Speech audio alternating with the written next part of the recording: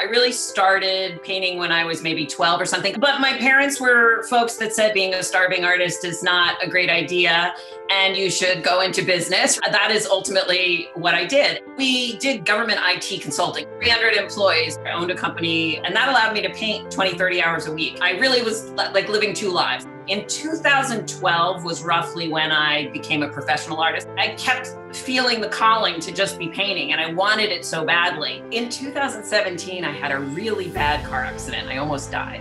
While I was stopped at a stoplight, dump truck pulling a backhoe ran through the light and slammed into me. He pushed me like 17 feet into the woods, completely totaling my car. They had to cut me out of while I was laying in the hospital that I really said to myself, you know what, I have a second chance to, at life here. I'm getting rid of the business side and I'm to do what I love. Nobody wants to let you go. I actually lost a number of friends because I didn't go to art school. I always thought I was missing something. Successful as I was, I was very much not ever at peace with my work. One of the things that I messed around with for a long time was colors and palette, and trying to get there. Why isn't it satisfying?